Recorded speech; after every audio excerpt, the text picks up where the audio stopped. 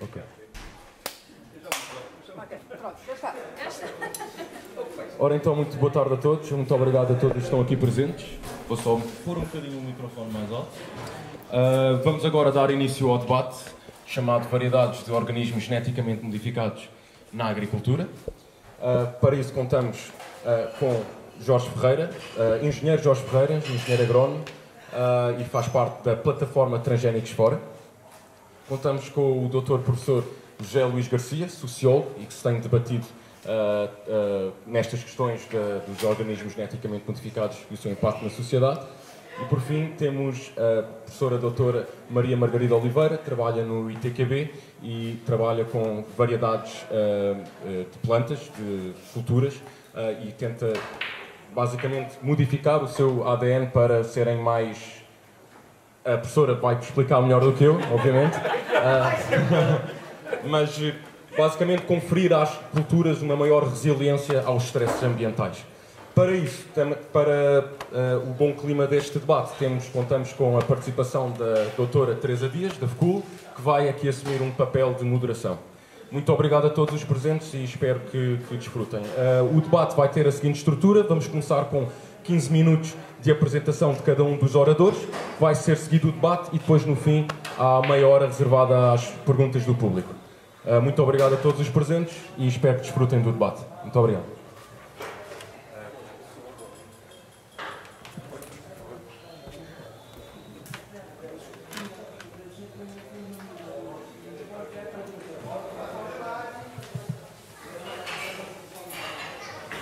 Então, muito boa tarde a todos. Alguém tem que começar, serei eu. É, rapidamente, antes de começar com, com o, a matéria provavelmente dita, Uh, só um pequeno resumo da, da minha representação, digamos assim. Eu estou aqui em nome da plataforma Transgénicos Fora, que é uma plataforma que, que integra várias uh, ONGs, portanto, organizações não governamentais de ambiente.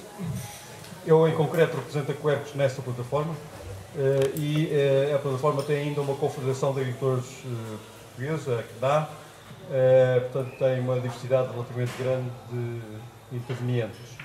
Uh, o, a plataforma não tem pessoas a trabalhar, uh, digamos assim, assalariadas. Estou aqui também a título voluntário, tal como os restantes membros da, da plataforma.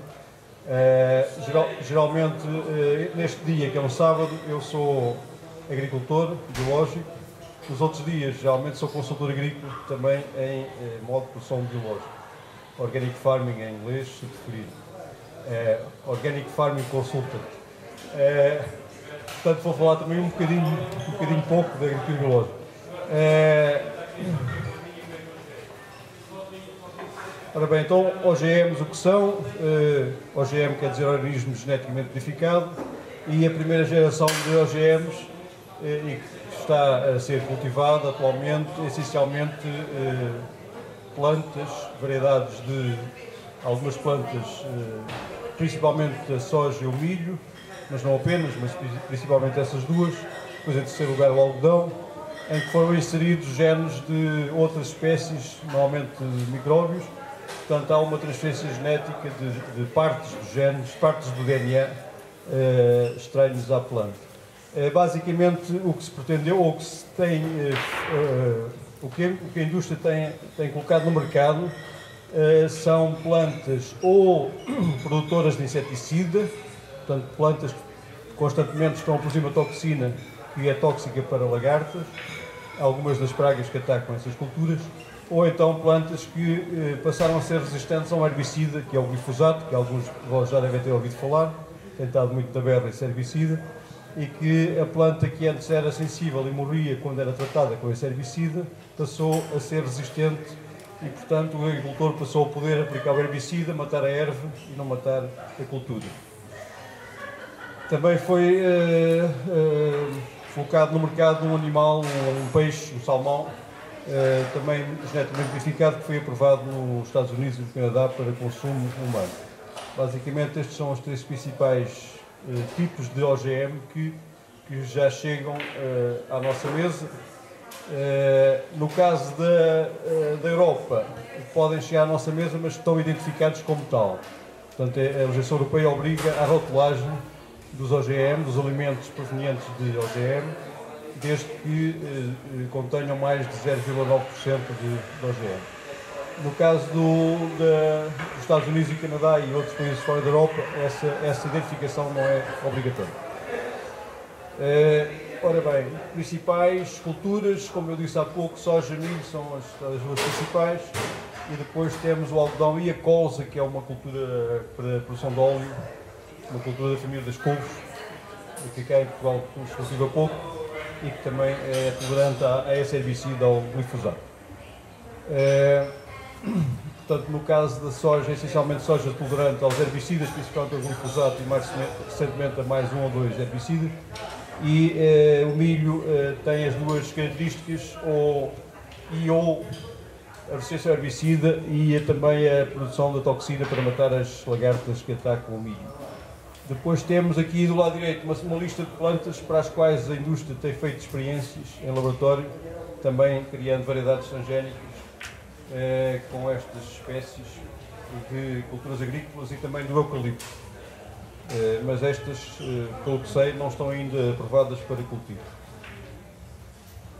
Talvez a professora Margarida depois possa atualizar essa questão, que, nomeadamente no caso do eucalipto, eu não faço ideia realmente já estão ou não disponíveis, porque não, não trabalho na área de florestal. Ora, países eh, onde se cultiva, na Europa apenas é aprovado para cultivo o milho, o milho chamado milho BT, BT é, é, são as iniciais de uma bactéria que é o Bacillus thuringiensis, que é uma bactéria que produz eh, inseticida, bioinseticida, e que até é autorizada em estudo biológico como bioinseticida, eh, mas que neste caso é, como eu disse há pouco, milho produz constantemente a toxina e portanto a lagarta quando ataca a, a planta do milho ou, ou, ou a, o grão do milho eh, morre em contacto quando ingere a toxina.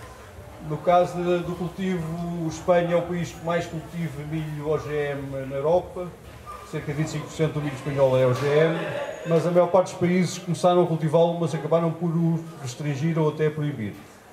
Portanto, estão aqui uma lista de países que eh, acabaram por proibir o cultivo de milho transgénico. Eh, na Suíça houve mesmo um referendo e a população acabou por votar eh, contra o cultivo, com 55% de votos. E eh, a nível regional, as nossas regiões autónomas da Madeira e dos Açores também eh, proibiram o respectivo cultivo. Isso tem a ver essencialmente com eh, enfim, muito, alguma pressão, nomeadamente das ONGs e de algumas organizações de consumidores, eh, com algum receio de, de, das consequências a nível ambiental e a nível da saúde humana. Uh, ora, vantagens. Uh, a indústria, quando apresentou estas variedades, disse que ia uh, aumentar a produção mundial de alimentos e resolver a fome do mundo, ou pelo menos ajudar a resolver, aumentar a rentabilidade da exploração agrícola, diminuir a aplicação de pesticidas e aumentar a biodiversidade. São quatro objetivos importantes, de facto, mas será que foram alcançados? e será que é assim tão necessário aumentar a, a, a produção de alimentos? É que atualmente cerca de 25% dos alimentos produzidos no planeta são uh, deitados fora ou perdem-se. E esses 25% deveriam para alimentar todos, toda, todos os mais de 800 milhões de pessoas que passam fome. Portanto, não há falta de alimentos, há a má distribuição dos alimentos, ou falta de acesso a esses alimentos. Depois é a produtividade. As variedades transgénicas, eh, no início dizia-se que iam produzir mais, mas na verdade, na realidade, e a realidade já, já são mais de 20 anos de produção, eh, é que produzem o mesmo que as outras variedades híbridas não OGM. Portanto, não há nenhum ganho de produtividade. Depois, eh, em relação ao, ao, às outras vantagens, houve o maior gasto com as sementes, porque as sementes são mais caras, houve um maior, gasto com herbicidas, uma vez que houve um aumento grande da aplicação de herbicidas, uma vez que o agricultor passou, passou a, usar, a poder usar o herbicida sobre a cultura. Houve alguma uh, diminuição do gasto em inseticidas, porque se a planta produz um inseticida já não é preciso andar a pulverizar inseticida, aí foi um ganho, mas é um ganho relativo ou temporário, porque começam a aparecer resistência das lagartas ao, ao inseticida produzido pela planta é, co é como se estivéssemos a tratar constantemente a mesma substância ativa e normalmente depois os insetos ganham resistência, já começaram a aparecer essas resistências. Depois temos, no caso do algodão, houve, houve problemas muito graves na Índia. O, foram cultivados muitos hectares de algodão BT na Índia e esse algodão acabou por produzir menos, de tal modo que houve muitos agricultores que foram à, foram à falência por falta de produção. Portanto, ehm, acabaram muitos até por suicidar, infelizmente. Milhares de suicídios por causa deste algodão na, Índia. Eh, depois, a avaliação de toxicidade de, de, destes, destes, destes alimentos oriundos da OGM, também nos Estados Unidos é considerado à partida que não há diferenças com as variedades não transgénicas. Portanto, é uma equivalência substancial sem se fazerem testes. Na Europa fazem-se alguns ensaios, uma vez que a nossa legislação europeia é mais exigente, mas os ensaios em relação à toxicidade crónica são muito limitados, têm apenas 3 meses de duração e em 3 meses normalmente não se vê que se há um efeito crónico na saúde do rato, que dura 2 anos em média. O rato cobaia de laboratório. Uh, depois também os ensaios uh, têm sido poucos. Uh, há aqui umas imagens do ensaio que foi feito em França pelo grupo do professor Seralini, que durante o, os dois anos de vida do rato foram vendo o que é acontecia aos ratos do ensaio e a partir do sétimo mês começaram a aparecer tumores mamários. Ali do lado esquerdo da primeira imagem é o efeito do, daquele, daquele milho uh, OGM, o milho NK603, na saúde dos do ratos em laboratório. E de facto só se notou o efeito a partir do sétimo mês. Quando o ensaio, se, se os ensaios para aprovação duram apenas 3 meses, não se detecta nada em 3 meses. Mas a partir do sétimo mês, sim, começam a notar efeitos crónicos.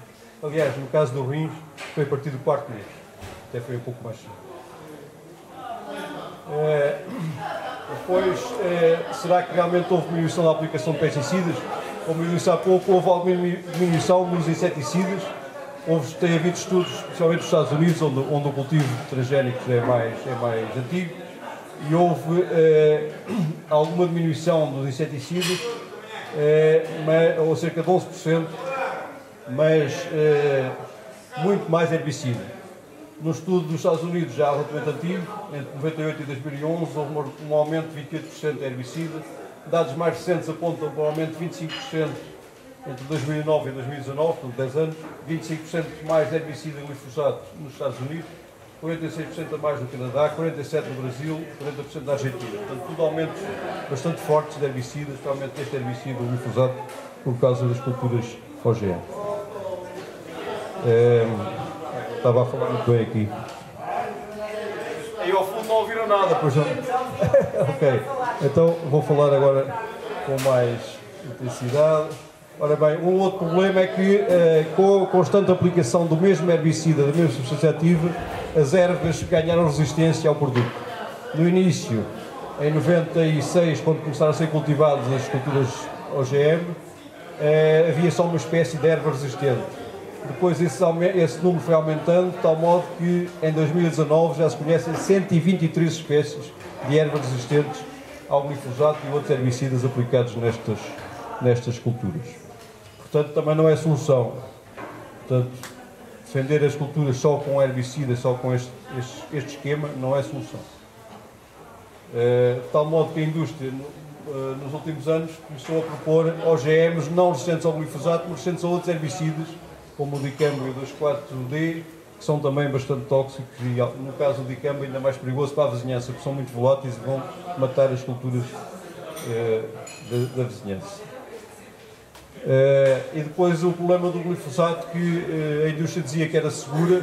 Eu, quando estudei pesticidas na universidade na década de 80, estava há alguns anos, o professor da cadeira, que era o professor Silva Fernandes, na altura era a pessoa que mais entendia pesticidas, dizia que sim, havia algum perigo, mas não havia risco para a saúde. Se não se atingisse aqueles níveis elevados, que não havia problema. A verdade é que mais tarde os cientistas, alguns cientistas vieram descobrir que isso é verdade para alguns pesticidas, mas não é verdade para outros.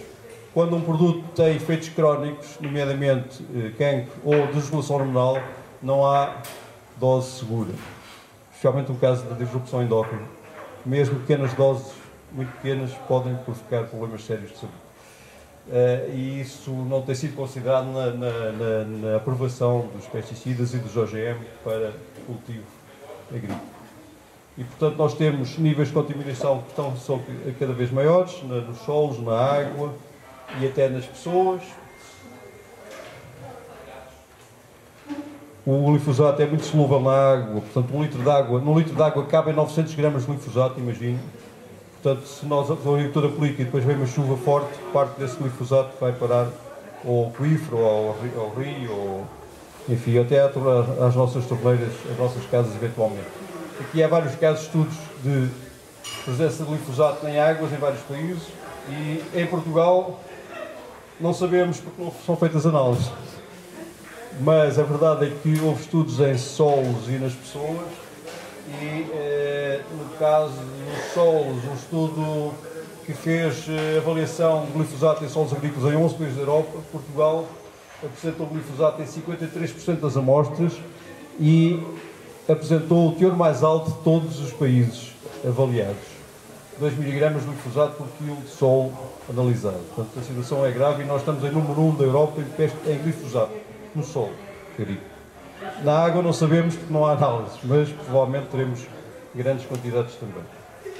É, não há análises que eu saiba, pode ser que até haja algumas, mas duvido. Ok, então estamos quase no final. É, depois, é, e os, glifosato chega à nossa mesa. Aqui um estudo também científico, análise à soja, soja OGM com glifosato, soja convencional não OGM sem glifosato, soja bio, biológico sem glifosato. É, e depois o, é, o limite máximo de resíduo, que é o, o teor de pesticida, neste caso glifosato, autorizado para consumo, era, antes das culturas OGM, apenas de 0,1 mg por quilo depois começaram a aparecer resíduos na soja. O que é que se fez? Alterou-se o limite máximo para 20. Seja, neste momento, a soja que nós comemos, ou um alimento que tenha, seja derivado da soja, uma salsicha, por exemplo, que também tem soja, pode ter, pode, o, o, essa soja pode ter 20 mg de glifosato e ainda assim ser consumida. Um, um, um herbicida que desde 2015 eh, está classificado como cancerígeno para animais e provavelmente cancerígeno para pessoas, como a Agência Internacional da, da Investigação em Cancro concluiu com base em estudos científicos eh, publicados. E o anterior bastonário da Ordem dos Médicos, o Dr. Eh, Silva, também escreveu e publicou que, de facto, o glifosato era um problema de saúde pública e que, tendo em conta as várias doenças que provoca, é é, é mais que suficiente para ele ser retirado. É, portanto, as conclusões da IAR, da Agência Mundial, que faz parte da, da, da OMS, é que o glifosato é provavelmente cancerígeno para seres humanos, é cancerígeno para animais, sem dúvida qualquer, e que eh, quer o glifosato puro, a substância ativa, quer os produtos comerciais, têm risco de causar cancro. É, com base em 269 estudos científicos eh, publicados. Para acabar, quase, já está no. Pronto, houve um estudo feito cá sobre o glifosato na urina humana. Eh, em parte foi um estudo feito pela plataforma Transgénicos, mas também houve depois um estudo científico feito pela Faculdade de Ciências do Porto e concluiu-se que os portugueses estão de facto contaminados com glifosato. Os níveis até são relativamente altos. Aqui está um exemplo de um, um boletim de análise, um resultado de um dos, uma, das, uma das amostras analisadas em que se detectou 31,6 partes por bilhão de glifosato na urina. E ali está o mapa dos Estados Unidos, que isto foi feito pelo laboratório americano, acreditado por este tipo de análise, e que nos Estados Unidos os teus médios andavam à volta dos 2, 3 ppbs. Portanto, nós temos níveis muito mais altos, até em Portugal, do que nos Estados Unidos. É, e, portanto, é um problema grave, quer dizer que o glifosato chega à nossa mesa e, portanto, ou pela água ou pelos alimentos, provavelmente mais pelos alimentos do que pela água, porque além do, do, que é aplicado nas culturas transgénicas, há um outro problema também muito grave com este herbicida, é que ele é aplicado em alguns países como dessecante dos cereais antes da colheita. Isso é, para mim, é criminoso. É autorizado, mas é criminoso. Porque é aplicado e poucos dias depois vai-se colher o trigo, ou o centeio, ou o cevado, e então aí fica mesmo muito resíduo no, no alimento até na cerveja. Pronto, eu fico por, por esta questão do glifosato porque eh, é um assunto de ordem do dia também. Ah, só uma pequena referência também, só, eu vou já concluir, mas só dois slides. É este, para acabar aqui no glifosato. O glifosato tem sido muito questionado em toda a Europa. É o herbicida mais usado na Europa e em todo o mundo, e também em Portugal. E neste momento tem o prazo de validade, de validade de autorização na Europa, termina 15 de dezembro, este, este próximo mês. E está neste momento em decisão eh, se é reaprovado por mais 5 anos, ou mais uns anos, ou não. E agora a EFSA, que é a Agência Europeia, não quer tomar essa decisão, a Comissão Europeia também não. a bola está nos Estados-membros. Depende, depende dos votos de cada Estado-membro.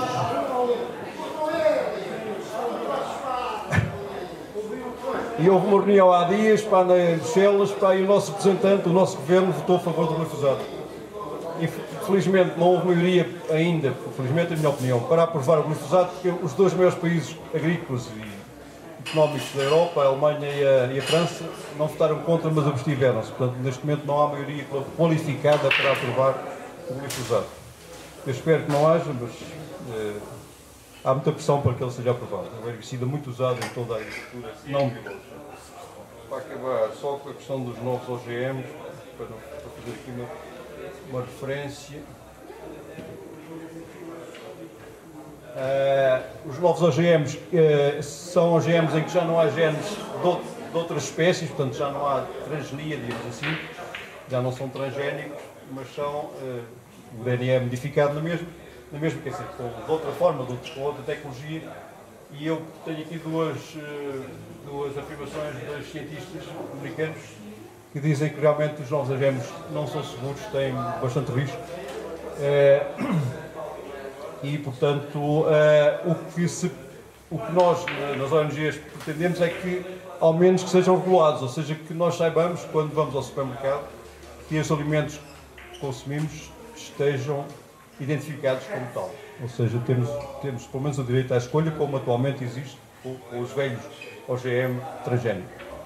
É, é, é, isso e neste momento está a decorrer uma petição pública a nível europeu para que essa regulação seja obrigatória. Não é para proibir os OGM. Também nós não queremos proibir os OGM. Nós queremos ter direito à escolha. Ok? Pronto, e fico por aqui. Obrigado.